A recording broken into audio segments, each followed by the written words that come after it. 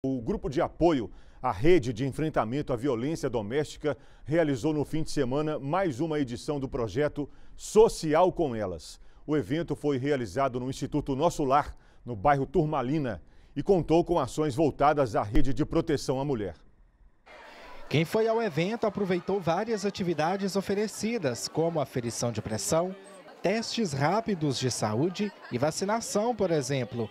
Desta vez, o palco da ação social com elas foi o Instituto Nosso Lar, no bairro Turmalina.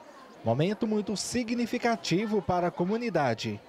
Às vezes a pessoa em casa não tem aquele interesse de medir uma pressão, de uma glicose e tal, e aqui já faz tudo junto, né? Tudo, um, um puxa, uma coisa puxa a outra, né? Eu mesmo, no tempo que eu não media, eu cheguei, vi eles mediram, eu falei, vou medir também.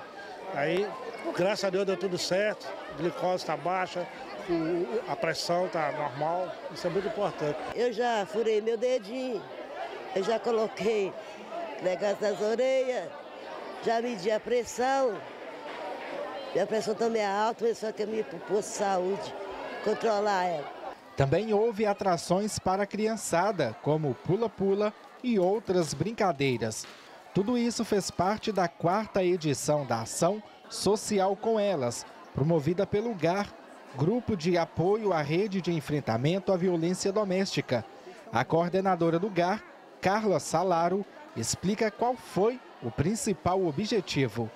O nosso objetivo principal é conscientizar as mulheres sobre a violência doméstica, as suas formas, uh, o ciclo da violência, a forma como romper com o ciclo da violência doméstica, nossos canais de atendimento também. Apresentar o GAR, a nossa rede, a essas mulheres. O movimento teve a parceria de várias instituições voltadas à rede de proteção à mulher. Conforme a coordenadora, ainda existem muitas vítimas de violência doméstica que temem em denunciar os agressores. As mulheres têm muita dificuldade em romper com o ciclo da violência doméstica e uma grande porcentagem é por medo né, dos agressores.